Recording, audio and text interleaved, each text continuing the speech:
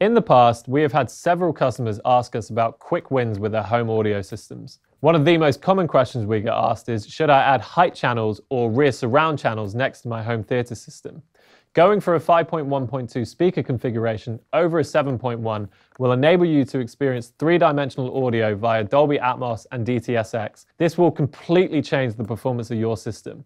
In addition to hearing audio from in front of you, behind you, and from the sides, you will also be able to hear audio from above you, completely engulfing you in audio, adding another element of realism and immersion to your listening experience. As a result, we would always recommend adding height channels before rear surrounds if the budget only allows for one or the other, as it will be a much bigger gain in terms of overall immersion factor.